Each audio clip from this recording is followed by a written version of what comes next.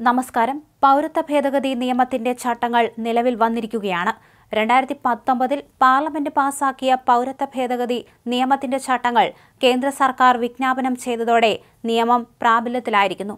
പാകിസ്ഥാൻ ബംഗ്ലാദേശ് അഫ്ഗാനിസ്ഥാൻ എന്നീ രാജ്യങ്ങളിലെ ആറ് ന്യൂനപക്ഷ മതവിഭാഗത്തിൽ പെട്ടവർക്ക് ഇന്ത്യൻ പൗരത്വം നൽകുന്നതിനുള്ള നടപടികളാണ് കേന്ദ്രം ആരംഭിച്ചിരിക്കുന്നത്.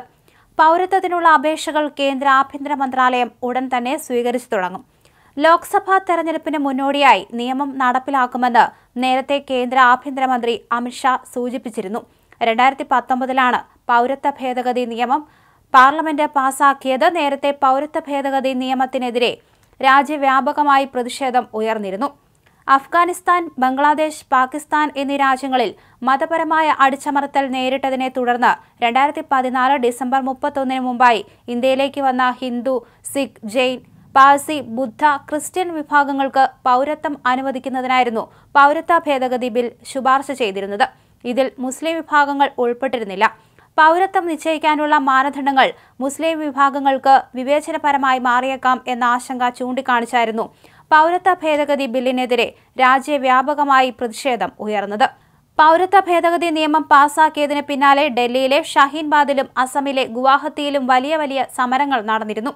പൗരത്വ നിയമം പാസാക്കി നാലു വർഷത്തിലേറെ ആയെങ്കിലും ചട്ടങ്ങൾ തയ്യാറാക്കാതിരുന്നതിനാൽ നിയമം നടപ്പിലാക്കുന്നത് വൈകുകയായിരുന്നു. പാകിസ്ഥാൻ അഫ്ഗാനിസ്ഥാൻ ബംഗ്ലാദേശ് എന്നീ രാജ്യങ്ങളിൽ നിന്നുള്ള ഹിന്ദു ക്രിസ്ത്യൻ സിഖ് ബുദ്ധ ജൈന പാഴ്സി മതക്കാർക്കാണ് പൗരത്വ നിയമപ്രകാരം ഇന്ത്യൻ പൗരത്വം നൽകുക. രേഖകളില്ലാത്തവർക്ക് ദീർഘകാല വിസ നൽകുന്നതിന് ജില്ലാ ഭരണകൂടങ്ങൾക്ക് അധികാരമുണ്ടാകുമെന്നും ദേശീയ മാധ്യമങ്ങൾ റിപ്പോർട്ട് ചെയ്തിരുന്നു. രണ്ടായിരത്തി പത്തൊമ്പത് ഡിസംബർ പതിനൊന്നിനാണ് പാർലമെന്റ് പൗരത്വ നിയമം പാസാക്കിയത്. രാജ്യത്തിന്റെ മതേതര നിലപാടിന് വിരുദ്ധമായി മതം നോക്കി പൗരത്വം നൽകുന്ന നിയമത്തിനെതിരെ അന്ന് രാജ്യവ്യാപകമായി വൻ പ്രതിഷേധമുയർന്നിരുന്നു. പാകിസ്ഥാൻ അഫ്ഗാനിസ്ഥാൻ ബംഗ്ലാദേശ് എന്നിവിടങ്ങളിൽ നിന്നുള്ള മുസ്ലിം ഇതര കുടിയേറ്റക്കാരെ ഇന്ത്യൻ പൗരത്വത്തിന് യോഗ്യരാക്കുന്ന പൗരത്വ നിയമ ഭേദഗതി ബിൽ ബി ജെ പി സർക്കാർ ആദ്യമായി അവതരിപ്പിക്കുകയായിരുന്നു. ഈ ബിൽ ലോക്സഭ അല്ലെങ്കിൽ ഇന്ത്യൻ പാർലമെന്റിന്റെ അധോസഭ പാസാക്കിയെങ്കിലും വടക്കുകിഴക്കൻ ഇന്ത്യയിലെ വ്യാപകമായ രാഷ്ട്രീയ എതിർപ്പിനെയും പ്രതിഷേധത്തെയും തുടർന്ന് രാജ്യസഭയിൽ ഇത് സ്തംഭിച്ചു.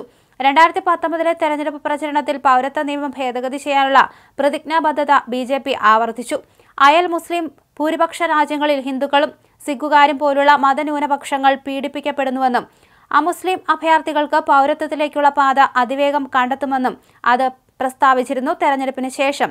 ബി ജെ പി സർക്കാർ അതിന്റെ വടക്കുകിഴക്കൻ സംസ്ഥാനങ്ങളുടെ ആശങ്കകൾ പരിഹരിക്കുന്ന ഒരു ബില്ലിന് രൂപം നൽകി. ഇത് അരുണാചൽ പ്രദേശ് മിസോറാം നാഗാലാന്റ് ത്രിപുര മേഘാലയ മണിപ്പൂർ എന്നിവയെ ഒഴിവാക്കി. ഗോത്രവർഗീയതര നഗരങ്ങൾ ഒഴികെ അസമിലെ ആദിവാസി മേഖലകളെയും ഇത് ഒഴിവാക്കി. അയൽ രാജ്യങ്ങളിലെ മതപീഡനത്തിൽ നിന്ന് പലായനം ചെയ്ത് ഇന്ത്യയിൽ അഭയം പ്രാപിച്ചവർക്ക് പൗരത്വം വേഗത്തിൽ ലഭ്യമാക്കുകയാണ് ബില്ലിന്റെ ലക്ഷ്യമെന്ന് ഇന്ത്യൻ സർക്കാർ ഒരു ഭേദഗതി നിർദ്ദേശിക്കവേ പറയുകയും ചെയ്തു.